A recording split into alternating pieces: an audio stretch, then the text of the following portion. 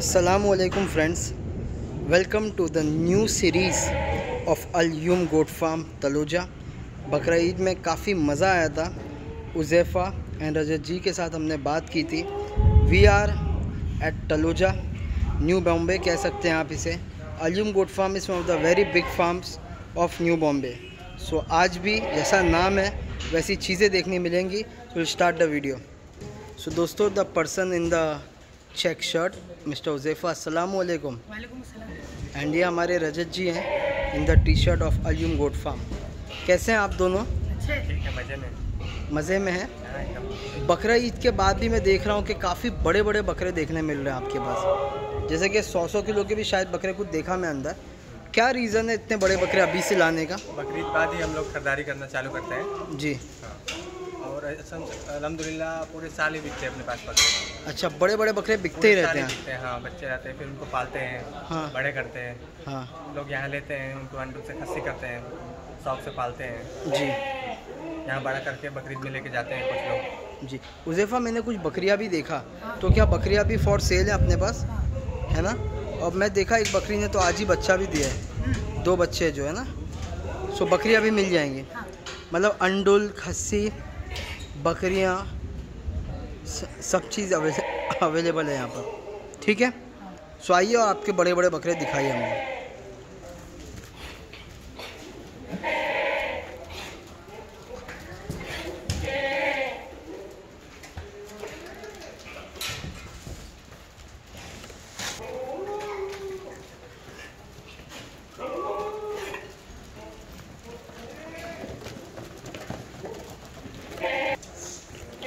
ज़ेफ़ा ये अलग अलग नस्ल में है ना? हाँ। कौन कौन सी ब्रीड में? है।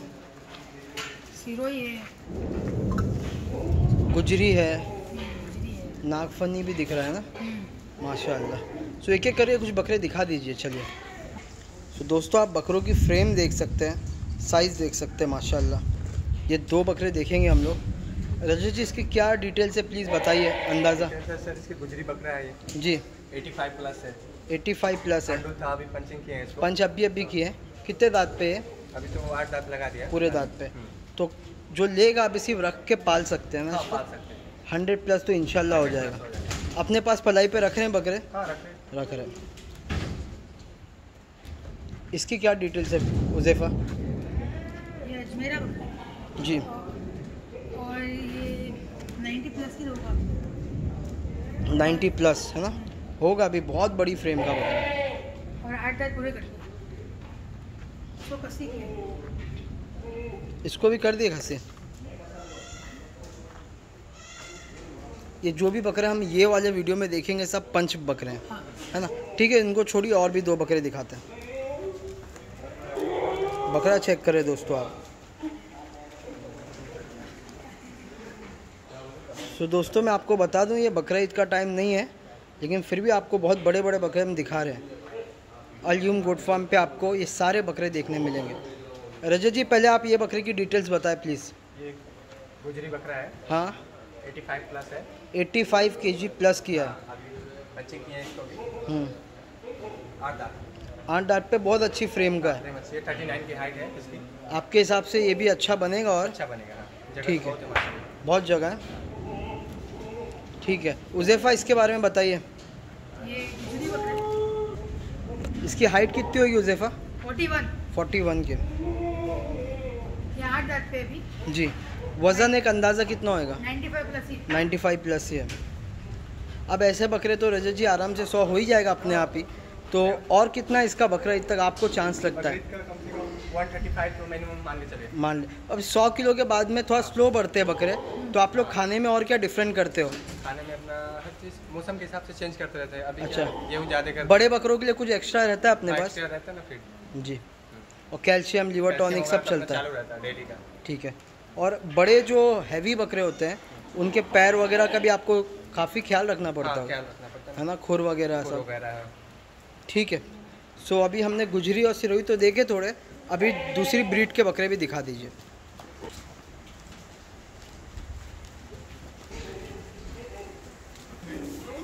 सो दोस्तों गुजरी एंड सिरोही के बाद में आप देख रहे हैं ये डांग बकरे।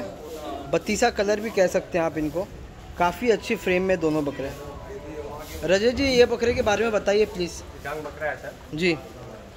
काफ़ी अच्छा कलर होता है ये तो। दांत कितने होंगे इसके? छः है। छः हैं और ये अंडुल बकरा है। अंडुल बकरे हैं। अगर कोई कस्टमर को रखना है पलाई पे तो उसको आप खस्सी करके रख देंगे। करके रख या अंडुल भी रख सकते हो आप। अंडुल बकरे भी रखते हैं हम लोग पलाई पे। हैं, हैं। क्या क्या डिफरेंस आएगा इसको रखने के बाद में? इसको रखने के बाद अगर खस्सी कराते हैं तो और इसकी शाइनिंग बढ़ेगी। शाइनिंग बढ़ती है। है तो कलर माशाल्लाह कलर देखिए आप। हम्म। कलर इसका। सीना वगैरह भी अच्छा जगह भी काफ़ी है है। जी। काफ़ी खूबसूरत चीज़ है। ये आप थोड़े दिन से तो है आपके पास। हाँ, खाने पीने में कैसे रहते हैं वगैरह? एक नंबर है। खाना उठाए मतलब एक सवा किलो अनाज उठाते हैं। एक सवा किलो अनाज उठा लेते हैं? हाँ। माशाल्लाह माशाल्लाह। कोई भराई नहीं। कोई भराई नहीं है ना? चलिए उज़ैफ़ा भी आप बताइए। ये भी वही वही नस्ल में जी। ही है। कलर कैसा लगा आपको? कलर तो अच्छा माशाल्लाह बहुत अच्छा। इसकी शाइनिंग एकदम टाइगर कलर है। ना हम्म। शाइनिंग तो और बढ़ेगी। ये अभी छः दांत पे जी। ये माशाल्लाह उज़ैफ़ा आप भी रोज़ आते हैं ना फार्म पे? हाँ। तो काफ़ी नॉलेज बढ़ता होगा आपका भी है ना? फीडिंग टाइम पे आप देखते हो गौर करते हो बकरे कैसा खा रहे क्या? आप ही डालते हैं। तो कोई बकरा जो नहीं खाता है उसको कैसा हैंडल करते हैं आप लोग? उसको अलग रख के फिर अलग से खिलाते अलग से भी खिला- हैं। ठीक है बहुत बहुत शुक्रिया काफ़ी अच्छी जानकारी दे रहे हैं आप लोग। रजत जी अगर मैं पूछूँ ये बकरों के रेट क्या हैं तो? सर फोर हंड्रेड पर के जी है फोर हंड्रेड रुपीज़ पर के। जी जो भी डांग बकरे हैं। ठीक है। तो डांग तो काफ़ी हैं आपके पास। हाँ, काफ़ी उसके अलावा गुजरी और सिरोही बकरे कैसे दे रहे हैं हम? गुजरी भी मिल जाएँगे आपको फोर हंड्रेड के जी का। जी। हाँ। ठीक है तो जो बड़े बकरे अपने नक पे हैं वो जो ज़्यादा बड़े जो है, बकरे हाँ, 85 केजी के ऊपर हाँ, वो नग से। मिल जाएँगे। बहुत बहुत शुक्रिया। हैं। ठीक है और नंबर भी हम दे देंगे। हाँ, दे दीजिए। है ना? चलिए। तो दोस्तों बकरे आपके सामने हैं। कांटेक्ट करें मंसूर भाई का नंबर दूँगा मैं।